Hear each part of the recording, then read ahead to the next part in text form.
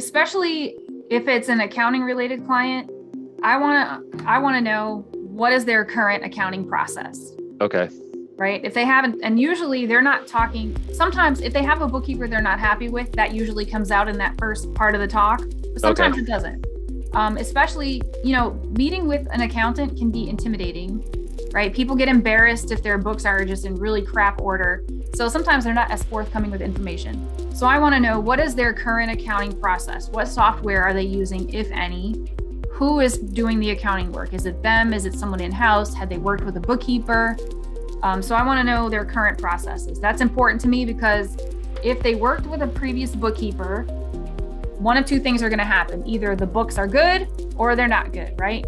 If they don't work with a bookkeeper at all, they're not good.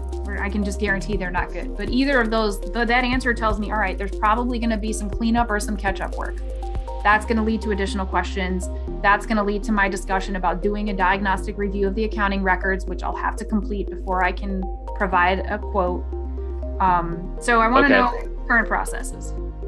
Um, I also want to talk to them about what services do they think they need. And when you ask that question, nine times out of 10, when I ask it, people are like, I don't even know what I need. Okay, well, that's good for me to know. That means that you really don't have accounting processes in place, or you would know what's involved in doing accounting, right? Even if you're not the one doing it, you would know what AP is, what AR is.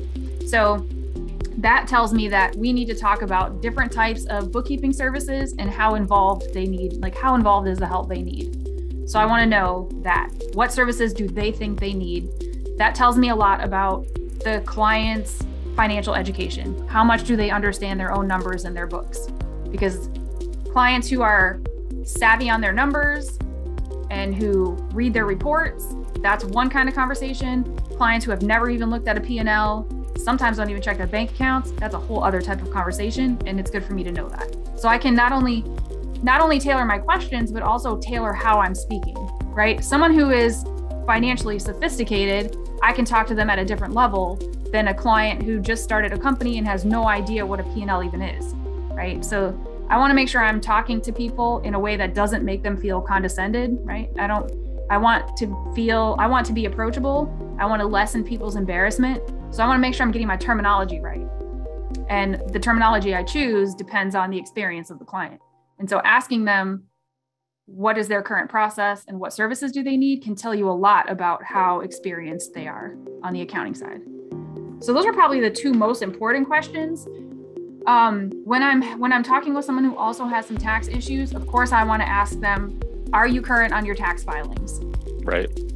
That's going to be number 1 because that's going to tell me are there past due returns? Could there be tax liability issues that are going to need research and response? Or are they up to date and they're just, for whatever reason, now's a good time to make a switch? So, those are probably my top three. Um, a lot of people will get into talks about what is your gross revenue in that initial discovery call. And that is one of the questions on my booking questionnaire. What was your revenue last year? I don't really use that for more than just getting a sense of what size their company is so that I can know if 350 a month minimum fee is really going to work, right? If they if they grossed $50,000 last year, even if they check the box saying they understand 350 bucks is the minimum, they didn't read that. They just checked it because it's got a little red star next to it and they knew they had to check it. Um, and so that can kind of help me. I don't I don't ask that in the discovery call, but I do look at it on the booking questionnaire because that may also change the direction of the conversation.